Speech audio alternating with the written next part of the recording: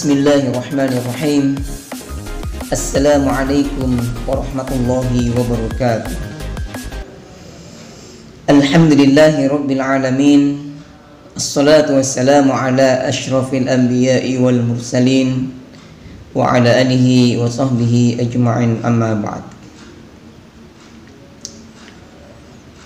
Segala puji hanya milik Allah. Yang telah memberikan kekuatan dan kesempatan kepada kita semua. Sehingga pada kesempatan kali ini kembali kita menikmati nikmat yang Allah berikan kepada kita.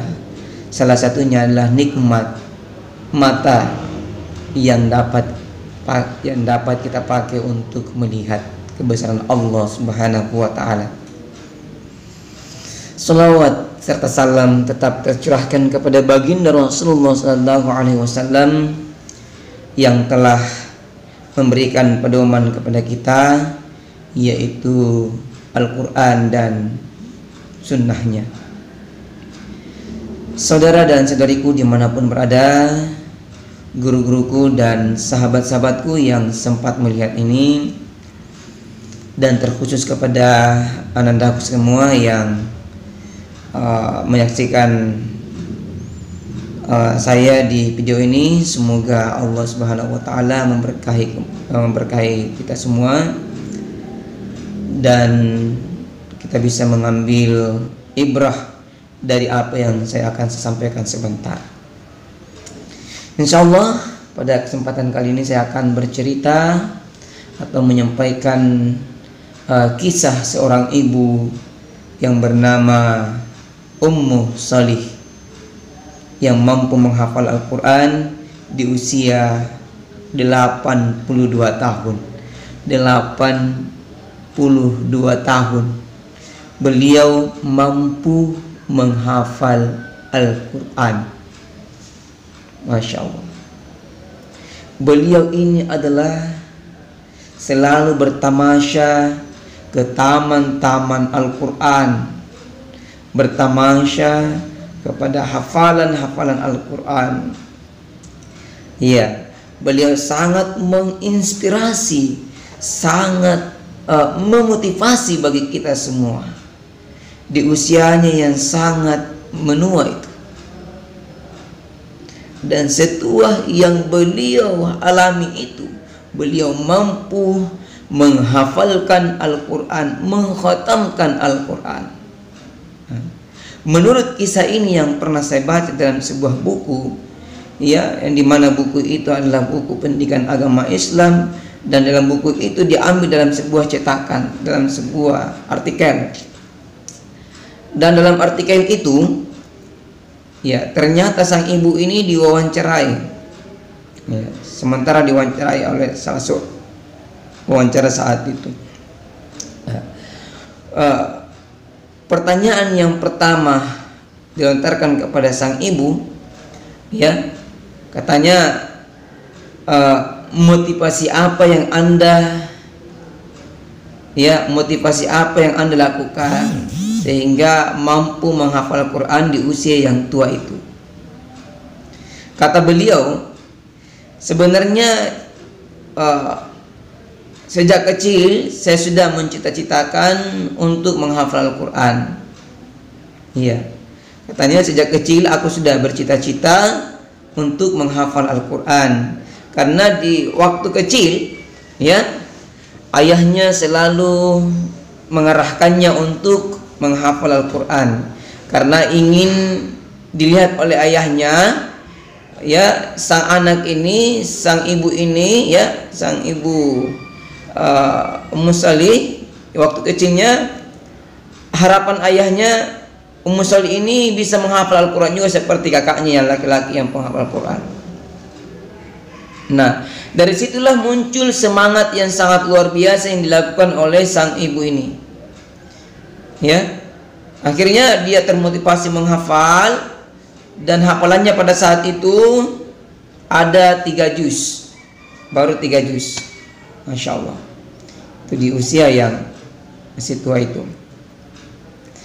Nah, sewaktu beliau ber, uh, beranjak usia uh, 13 tahun beliau menikah. Nah, otomatis waktunya terkuras. Ya. Tidak lagi fokus dengan menghafal Al-Qur'an. Karena beliau fokus kepada rumah tangganya, mengurusi rumah tangga. Nah, lalu kemudian beliau dikaruniai dengan tujuh orang anak, tujuh orang anak, yang di mana pasti waktunya sangat sempit untuk menghafal Al-Quran karena beliau uh, mengurus uh, rumah tangganya, mengurus anak-anaknya. Ya, semakin uh, sempit karena mengurus rumah tangganya. Untungnya ada seorang suami yang menemaninya yang selalu uh, membantu untuk mengurus anak-anaknya. Kemudian uh, beberapa waktu kemudian suaminya meninggal. Suaminya dipanggil oleh Allah Subhanahu wa taala kembali kepada Allah Subhanahu wa taala ya. Dan akhirnya sang ibu ini semakin sibuk mengurusi rumah tangganya semakin sibuk mengurus anak-anaknya nah beberapa kemudian waktu kemudian anak-anaknya sudah beranjak dewasa lalu kemudian ada beberapa yang sudah menikah ya enam orang yang sudah menikah dan tinggal yang sebungsu belum menikah. Nah itu, itu ceritanya. Nah, kemudian pertanyaan yang kedua yang dilontarkan oleh sang pewawancara pada saat itu, bagaimana awal perjalanan anda dalam menghafal Al-Quran? Iya, katanya beliau, aku mulai menghafal Al-Quran atau kembali uh, ketika anak bungsunya itu masih duduk di Sanawiyah di MTS Madrasah Sanawiyah atau sederajat dengan uh, SMP sekolah menengah pertama. Itu uh, dia salah satu putri yang paling dekat dengan beliau. Jadi kata beliau dialah putriku yang sangat dekat denganku. Akhirnya dia selalu bersama dengan putrinya. Iya akhirnya dia uh, semakin semangat karena waktunya mulai longgar. Artinya sudah uh, ada waktu kembali untuk menghafal karena anak-anaknya yang enam itu kembali kepada uh, suaminya masing-masing kepada istrinya masing-masing ya akhirnya waktu sang ibu ini uh, mulai agak longgar sehingga ada waktu kembali untuk menghafal Al-Quran Nah, dari sinilah kata beliau, dari sinilah saya uh, dan juga putri bungsuku untuk menghafal Al-Quran. Setiap hari itu katanya setiap hari beliau menghafal bersama putrinya 10 ayat. Jadi bayangkan dalam uh, 10 ayat setiap hari. Satu hari itu ada tujuh hari. Uh, uh, satu pekan itu ada tujuh hari. Uh, tujuh dikali sepuluh berarti sepuluh ayat. Ya kan? Begitu setiap harinya diulang-ulang. Jadi itu uh, mulai menghafal di usia tuanya ya, di usia 70 tahun itu. Jadi menghafal bersama dengan si bungsu. Nah, pertanyaan yang keempat yang dilontarkan sang uh, penanya ini yang uh, wawancara katanya uh, bagaimana metode yang Anda gunakan untuk menghafal Al-Qur'an? Jadi bagaimana metodenya? Jadi yang diminta adalah metode. Nah, menurut uh, informasi yang saya baca itu bahwa setiap hari itu uh, kami hanya menghafal 10 ayat. Jadi itu seperti yang tadi itu 10 ayat uh, dan waktunya itu setelah selesai sholat asar ya dia selalu mengulang-ulang itu 10 ayat itu. Ya. Jadi dia mengulang. Jadi uh, setelah dia menerangkan makna jadi ayat ayat-ayat yang dibacanya itu anaknya si bungsu ini si putri bungsu ini memahami bacaan yang dibaca oleh ibunya. Metodenya lalu kemudian dari ayat-ayat yang beliau baca itu ya yang tiap kali diulang diulang-ulang itu ya anaknya sudah uh, bisa menangkap makna dari apa yang dibaca oleh ibu. Jadi metodenya yang pertama tadi dia membaca 10 ayat setiap hari. Kemudian yang ketiga beliau mengulang-ulang tiga kali. Lalu kemudian yang ketiga uh, metode yang digunakan sang ibu ini adalah uh, beliau sering mendengarkan uh, murotal. Dia pakai tape itu, dia, dia ada tape-nya ya ya ada tape yang dia gunakan. Ya yang semacam ini mungkin kita sekarang ya.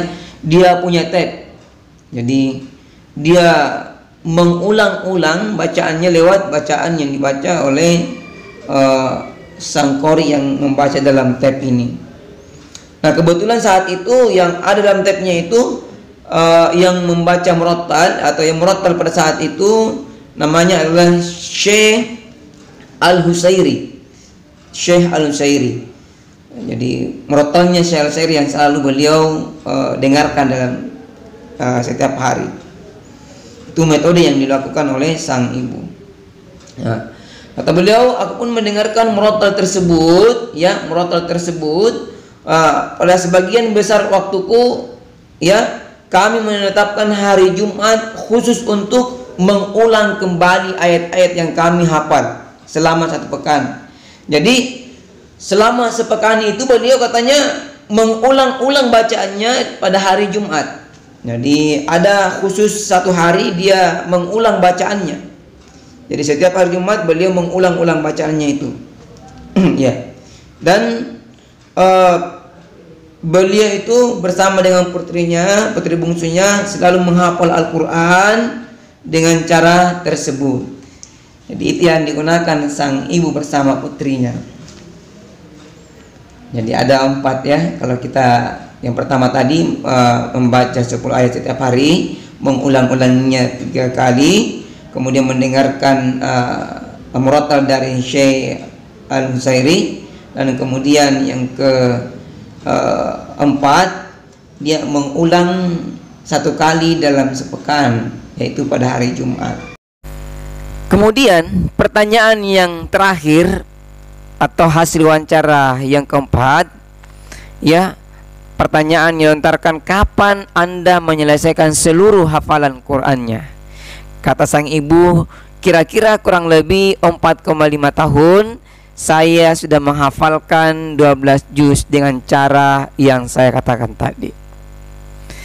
Setelah itu uh, putrinya menikah Lalu kemudian suaminya mengetahui kebiasaan-kebiasaan sebelumnya yang dilakukan ibu bersama si istrinya sehingga sang suami ini memilih untuk mengontrak dekat rumah ibunya untuk membantu menyempurnakan hafalan mereka. Nah, sang mertua ini mendoakan sang menantu dengan doa semoga Allah Subhanahu wa taala membalas kebaikan menantuku dengan kebaikan yang lebih baik. Dia yang selalu eh, menyemangati kami Bahkan terkadang dia menemani kami Untuk menyimak hafalan kami Menafsirkan ayat-ayat yang kami baca Dan juga memberikan pelajaran-pelajaran berharga kepada kami Nah, tiga tahun kemudian putriku tersibukkan dengan urusan anak-anaknya dan pekerjaan rumahnya sehingga bisa melazimi kebiasaan eh, yang telah kami jalani. Nah, Putriku pun merasa khawatir hafalanku menjadi uh, terbengkalai. Akhirnya putriku pun mencarikan untukku seorang ustazah agar dapat menemaniku menyempurnakan hafalanku. Dengan taufik Allah Azza wa Jalla, aku pun mampu menghafal Al-Quran 30 juz. Semangat putriku pun ya masih membara untuk menyusulku menjadi hafizah Al-Quran bahkan tidak mengendur sedikit pun.